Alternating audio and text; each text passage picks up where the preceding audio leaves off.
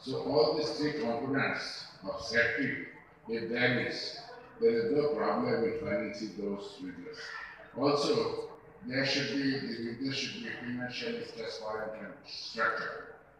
So these are the factors and also the business itself as well, there should be a feasible work. And there should be, there should be required infrastructure like electricity, gas and other things that is required for any industry. So for relocation, retrofitting or rebuilding or even a new uh, there is the problem of money in Bangladesh.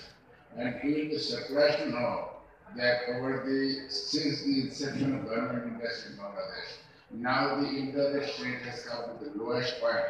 It is as low as eight percent.